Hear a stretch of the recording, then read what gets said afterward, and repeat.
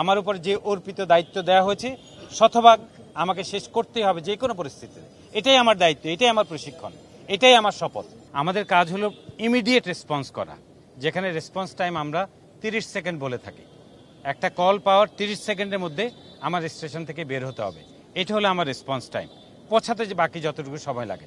নয়টা পঁচিশে আমরা কল পেয়েছি, নয়টা তিরিশে আমরা ঘটনাস্থলে উপস্থিত ছিলাম। পাঁচ মিনিট, এটা হলো জার্নি টাইম প্রশিক্ষিত দল আমার ওখানে ছিল।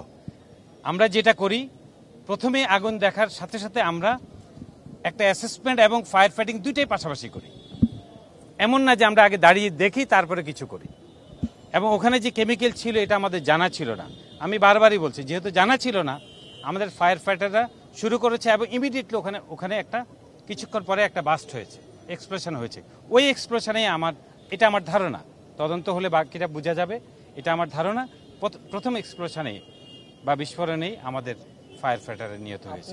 এবং আপনি যে প্রশ্নটা করলেন দ্বিতীয় প্রশিক্ষিত ফায়ার ফাইটারের প্রত্যেকেই দশ বারো পনেরো বছর চাকরি করা প্রত্যেকেই প্রশিক্ষিত।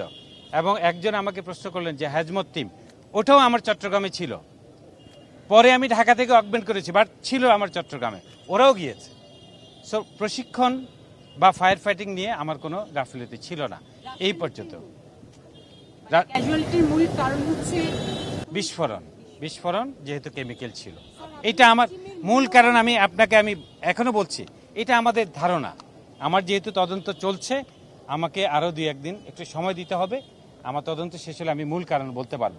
কারণ হিসাবে এবারটা যদি আমি বলে দেই তাহলে তার তদন্তের প্রয়োজন নাই। তদন্ত টিম কি করবে? মনোবলের বিষয়টা মনোবলের বিষয়টা একটু যদি বলতেন স্যার একসাথে আমি আপনাদেরকে একটু ঘটনা বর্ণনা করি। ঘটনা শুরু হয়েছিল নয়টা পঁচিশে। নয়টা তিরিশে আমার ফায়ার ফাইটাররা যায়। তখন থেকেই আমি মনিটরিংয়ে এবং সকাল সাতটা পঁয়তাল্লিশে আমি নিজে হাজির হয়েছি ওখানে। আমি ওখানে ছিলাম প্রায় এগারোটা পর্যন্ত। আমি আপনাদের মিডিয়ার সাথে ওখানে কথা বলেছি, আপনারা জানেন সময়গুলো। এতক্ষণ ছিলাম আমার ফায়ার ফাইটারদের মনোবল চাঙ্গা রাখা এবং আমার কাজটা শেষ করা। আমার উপর যে অর্পিত দায়িত্ব দেওয়া হয়েছে, শতভাগ আমাকে শেষ করতেই হবে যে কোনো পরিস্থিতিতে। এটাই আমার দায়িত্ব, এটাই আমার প্রশিক্ষণ, এটাই আমার শপথ। আমরা তো কাউকে তারপরের দিন সকাল পর্যন্ত পাইনি। আমি যখন সকাল পৌনে আটটায় ওখানে হাজির হলাম, তখন আমি এলাকার চেয়ারম্যানকে ফোন দিলাম, আমি নিজে, আমার একটা ফায়ার ফাইটারের ফোন থেকে। চেয়ারম্যানের নাম্বারে চেয়ারম্যানের সাথে কথা বললাম যে, আমার মালিক পক্ষের কাউকে দরকার। আমাকে একটু বলা দরকার যে, এখানে কি কি আছে? আমি দুইবার গিয়ে, আমি প্রথম পরশু দিনে গিয়েছিলাম চট্টগ্রামে গতকালকেও গিয়েছি চট্টগ্রামে। আমি প্রত্যেকের সাথে কথা বলেছি। আমি সিএমএইচে ছিলাম, প্রত্যেকটা রুগীর সাথে আমি হেঁটে হেঁটে কথা বলেছি। আপনাদের যদি ফুটেজ লাগে নিতে পারেন। আমি দেখলাম দুইজন ওখানে গুরুতর আহত। গুরুতর আহত, একজনের আশি ভাগ বার্ন হয়েছে, একজনের চুয়ান্ন পার্সেন্ট বার্ন হয়েছে। আমি সাথে সাথে হেলিকপ্টার সেনাবাহিনীর সহায়তায় আমরা তাকে ঢাকায় স্থানান্তর করেছি।